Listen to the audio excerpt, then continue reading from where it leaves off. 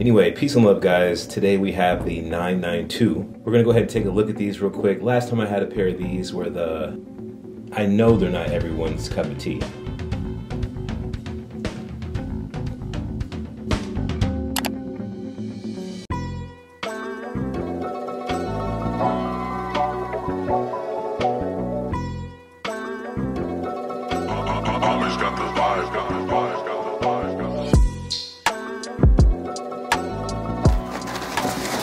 Lace these joints up real quick.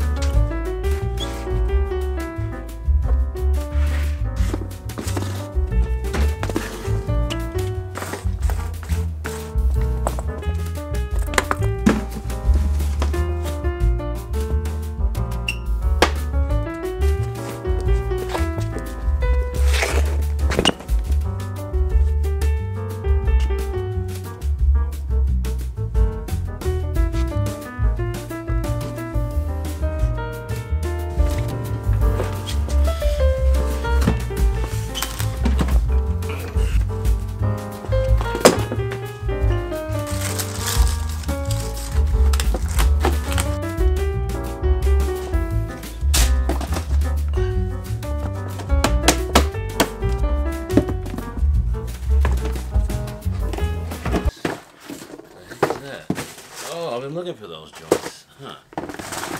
These shouldn't be in that box. Oh! Thought it was these. When I opened it, it was these. Huh.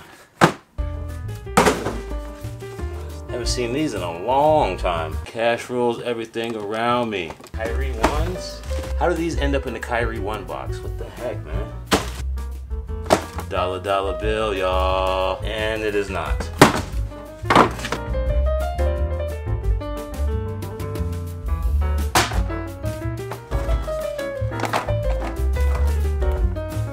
They were around here.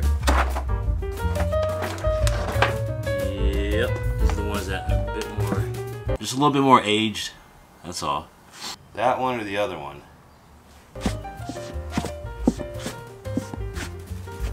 Found them. This literally took me like 45 minutes to find these stupid shoes. Go put them back. Oh my god. Peace and love, guys.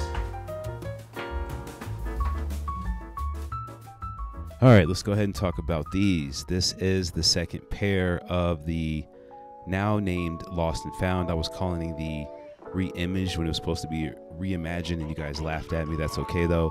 But here we have the Lost and Found. This is the second pair, so shout out the boom. These are varsity red black sail muslin, and I'm guessing the muslin part is the the black on here that's kind of like cracked, like that. Well, that sounded kind of weird saying that. They got the new StockX tags. I guess that's cool. They, they still shouldn't put those in the box, but I'll, you know, whatever. It is what it is. But this is the second pair of the Jordan 1 Lost and Found. And these are actually pretty interesting. As you see, they did have the correct old school box, right? And these do have a really good shape. However, when you get to the part where it's like, see that tail box looks, it looks pretty good, like an 85, right? I don't really know. But this pair just didn't seem as aged as the first pair that I have. And if you haven't seen that video, go back and look at it and look right there in the heel part.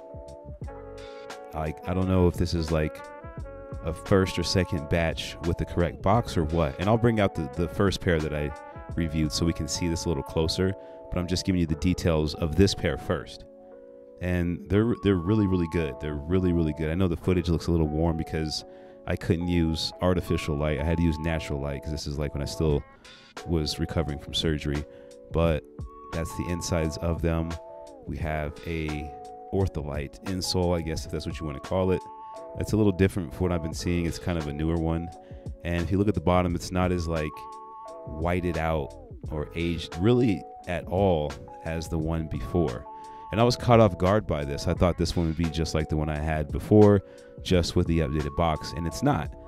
It's kind of just more like an 85 cut Chicago, and it's like a little bit cracked. I can't even say semi cracked, it's just like a little bit kind of cracked. Like, look at that. It's not really aged at all. So I'm not sure how these are supposed to look. I don't even know when these are supposed to come out. But this pair right to the right is the last pair that I did. And I'm going to keep the black laces in them so we can distinguish the two. And if you look at the cut, the cut looks pretty much the same. Like the shoes look the same from what I can tell. It's just they somehow use different materials to age them. Even the toe boxes on the right, that one look more aged.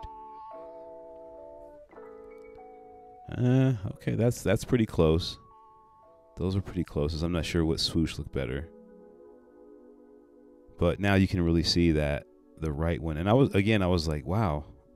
And even the reds, look at the two reds. The one on the right, it's not as like deep red, I guess. So I guess this comes down to preference at this point, and we'll have to see what they're gonna drop when the retails drop. Like we're gonna have to see how those are looking.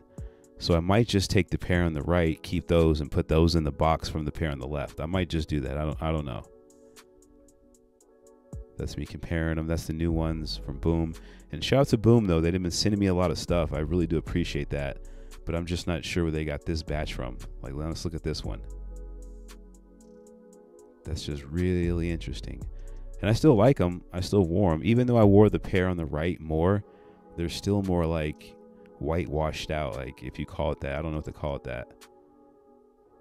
See, that's the that's the pair from the first time it's just interesting. So, and I, I kind of like comparing batch to batch because you you get to see how they're you know how they develop through over time.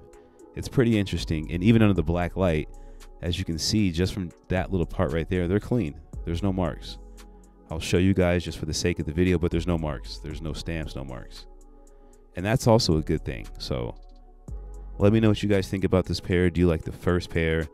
Do you like this pair from Boom? I like the shape. I like everything about it. And to be honest, it would be nice if it was more aged. That's the word we're, we're, we're using for these, for the lost and founds. We're going to call them those as well. But there's no marks on them. So that's it, guys. Peace, love, and light. Check out the first video again if you haven't seen it. And shout out to Boom again for getting these to me in a timely manner.